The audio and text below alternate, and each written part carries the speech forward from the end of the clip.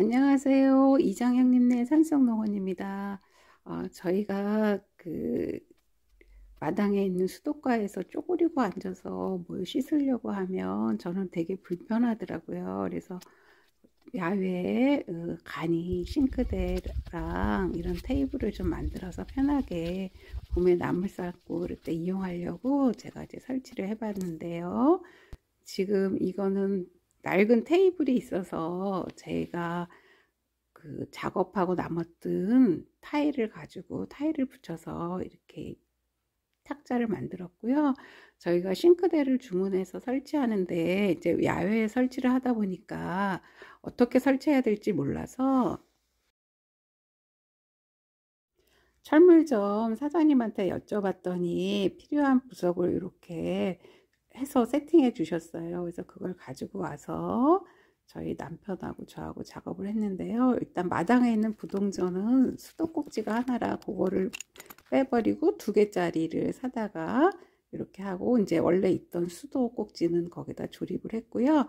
나머지 한 출수구에는 싱크대에다가 연결을 하려고 해요. 그래서 여기 보시면 엑셀이라는 플라스틱으로 된 이런 관이 있어요. 그 요거를 여기다가 아, 그 접지를 시키 접목을 시키셔가지고 이제 싱크대에 그 수전 설치한 고기까지 연결을 하면 되는데요. 이 엑셀은 햇빛을 보면 삭는다고 하시면서 사장님이 이렇게 보온재를 주셨어요. 그래서 보온재 속에 넣어가지고 여기 싱크대 수전 뒤에 보시면 그 냉수 전, 그 관에다가 그 엑셀하고 같이 어, 체결하는 너트를 주셨는데 그걸로 이렇게 체결을 하면 되고요. 그 엑셀 호스 자르는 거는 수평으로 잘라야 되는데 그, 그 수평으로 자를 수 있는 가위가 있더라고요. 그래서 그 가위도 하나 사온 게 있어서 그 수평으로 자른 다음에 이렇게 수전 뒤쪽에 나와 있는 그 관이랑 같이 엑셀이랑 지금 연결하는 과정이고요. 그래서 이제 보온재를 다 씌운 상태에서 이렇게 작업을 해서 예, 이렇게 나사를 체결하는 과정이에요. 어, 저는 이런 게 어떻게 해야 되나 감이 없었는데 그래도 철물점 가니까 답이 나오더라고요. 그래서 제가 다 이렇게 준비해 가지고 저희 남편은 제가 하라는 대로 이렇게 지금 지시한 대로 예, 작업을 하고 있습니다.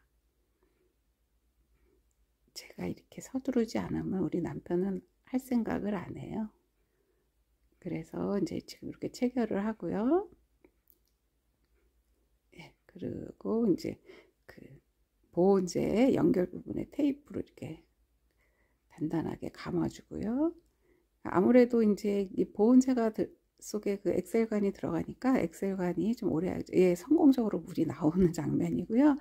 이 싱크대는 저희가 고물상 가서 사면 저렴하긴 한데 또 뭐 트럭 가져가서 사고 뭐 또 마음에 맞는 게 있을까 싶어서 그냥 좀 비싸더라도 인터넷에서 주문을 했어요. 그래서 이렇게 보시면 수전에 아까 그 엑셀을 연결해서 물이 나오게 하고 배수구는 연장선을 사다가 이렇게 좀 깔끔하게 하려고 저희는 다 그냥 땅 속에다가 남편이 힘들긴 했지만 이렇게 묻었습니다. 그래서 이렇게 보시면 깔끔하게 돼 있죠. 여기 부동전화서 여기까지 선이 안 보이는 거예요.